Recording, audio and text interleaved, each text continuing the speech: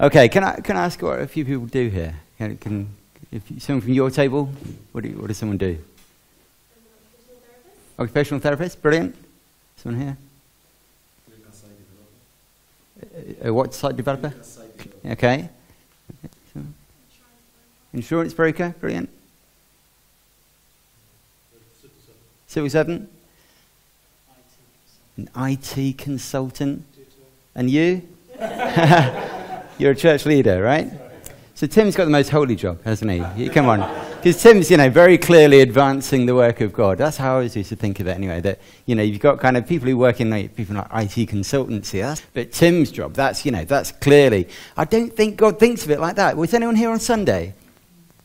Yeah, a few people. So Tim was talking about uh, this kind of really unhelpful divide that we, we think of, the, the secular and the sacred that, you know, we, we separate things out, that, you know, part of the week is sacred, the, the Sunday morning and maybe, you know, Wednesday night, and, uh, but, you know, the rest is kind of secular. And when you're in your, in your job, you know, you know IT consultancy computer, sorry, I'm picking on you, but, uh, you know, then it's, that's, that's kind of the less holy bit of the week. Uh, and similarly with jobs, we think of, you know, some being really holy and some being kind of not so much. Uh, and and it's really not how God thinks of things. God thinks of things as a whole. And so, if you are in a job of, uh, you know, an occupational therapist, you're on the, the, front line. You're on the front line of being uh, the person who can. Sorry, I'm making a bit of a noise. So the person who can have a difference. Start the sentence again. Yeah, so you can be on the front line of someone who makes a difference. Uh, so you talk about, Jesus talks about being uh, salt and light. Uh, so, you know, being the light in the darkness. Uh, let me just sort this. Uh, there's, a, there's, a, passage in Matthew, uh, Matthew 5, it says, You are the light of the world. A town built on a hill can't be hidden. Neither do people light a lamp and put it under a bowl. Instead, they put it on its stand and gives light to everyone in the house. In the same way, let your light shine before others, that they may see your good deeds and glorify your Father in heaven. The whole point of a light is to shine in the darkness. You don't need a light when it's already light, do you? You need it to be in a dark place. Uh, so that's why I think it's so exciting uh, when you hear people who work in a, a job, maybe when there's no Christians around or that doesn't seem very holy at all. Maybe God has placed you there uh, to have an influence, to have an influence uh, and, and be in that situation where there's no one else. There's no one, no one where there's. Okay, can you hear me now? Any, any interruptions? So, what do we do? What do we do if we're trying to shine out? If we want to be that light in the darkness, what kind of things practically does it mean for us day to day? Um, maybe being open about your faith is a start. Uh, but I wanted to think about things that we uh, actually do. You know, in Matthew 7, it talks about you'll know them by their fruits. You know, by what actually comes out at the end of it uh, which I think is a little bit similar to the parable of the, the Good Samaritan, isn't it? You know, in the parable of the Good Samaritan, the Samaritans at that time were the, the enemy, they were the, the ones the Jews hated. Uh, so it's quite a controversial parable, and it was talking about um, how this guy had you know, been beaten up and left, uh, beaten up by these robbers and left for dead. Uh, and the most holy people around, the, a priest and a Levite, they, they walked past. And then this, this Samaritan, that's really controversial, this person that they hated, was the one who stepped in. And uh, eh, what the equivalent be today? It'd be like a, a, church leader and an aid worker walked past, and some kind of, um, you know, fundamentalist, uh, someone, you know, from a terrorist group or something would help out. It'd be really controversial. So uh, it's this idea that, that labels, it's not about the label that you give yourself, it's about the fruit that comes out at the end of it.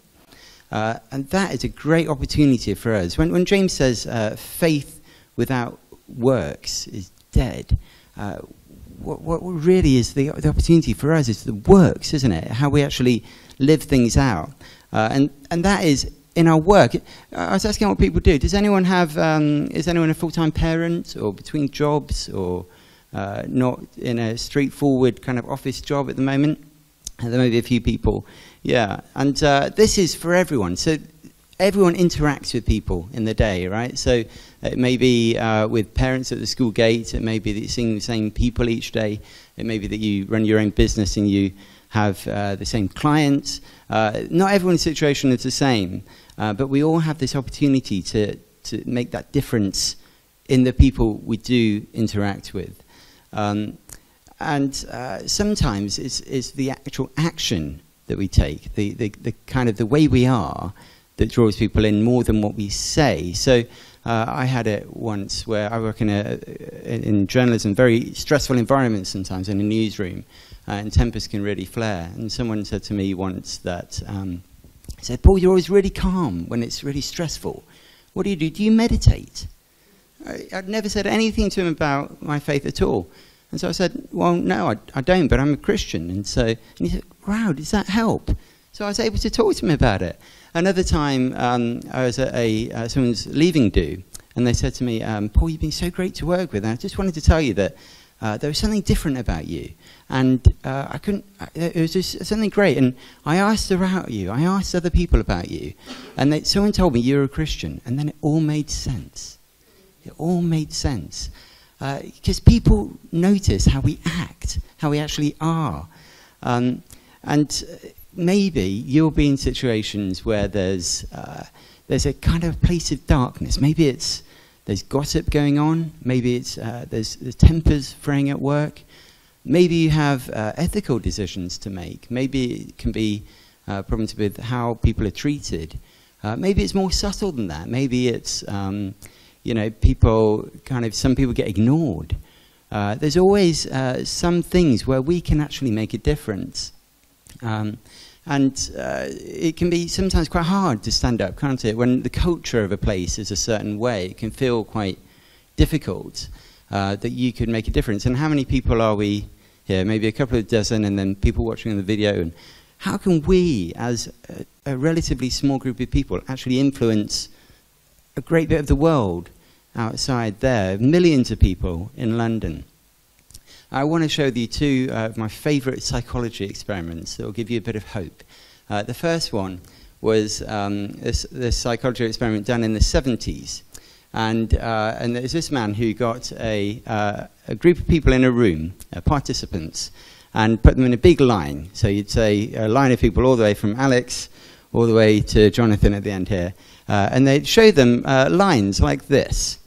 So they would have some lines, and and they would ask them uh, which line uh, is the same as line X, which is the same length. And yeah, unless you need glasses or something, this is pretty easy, right? Um, except all of the participants were fake except for one, the one at the end of the row.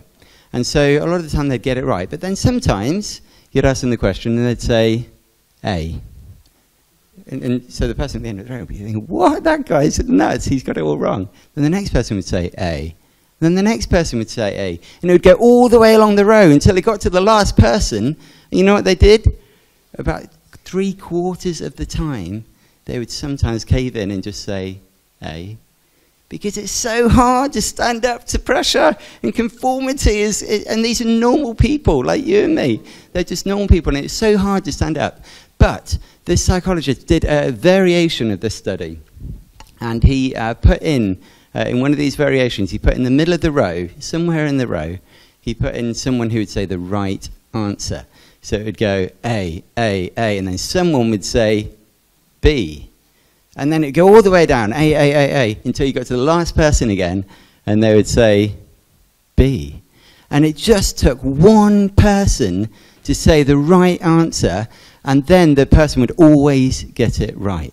Always get it right because they just needed to have one ally. Uh, and that is a great message of being salt and light. You know, when Jesus talks about being salt and light and being the yeast in the dough, uh, the same message across all three, isn't it? That the little thing can make a big difference. A little bit of salt in the, in the food can make a big difference. A little bit of yeast can make the bread rise. A little bit of light can have a, great effect in the darkness. And sometimes you might not even see the effect. There's another great experiment which I love, which is um, they, there's another group of participants in a room, And uh, this, uh, the psychologist told them, uh, I want you to work out, uh, pretend you're a company and you're working out compensation payments for uh, people who have uh, been injured.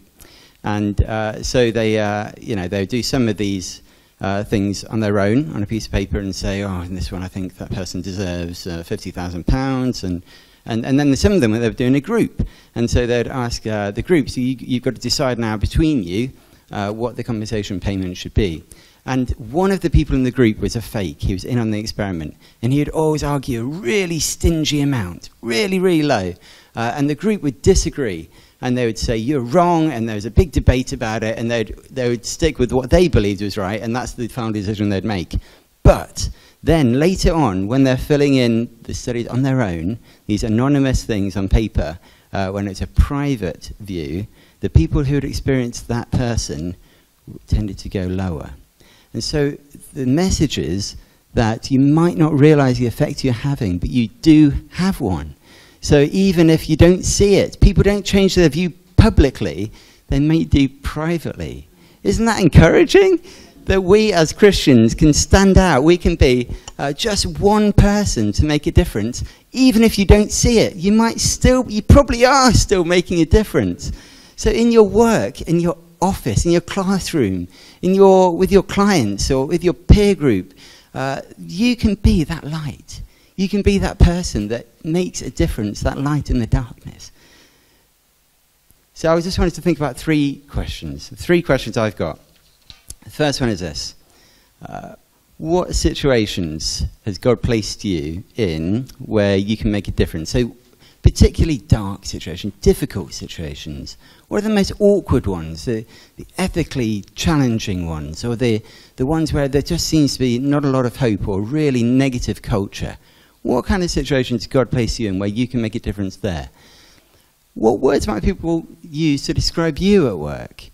Uh, what, do you, what kind of, how do you come across? Uh, how would they think of you?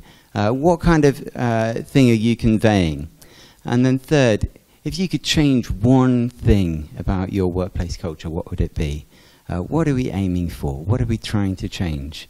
I think we've got such a great opportunity. All right, great, thanks.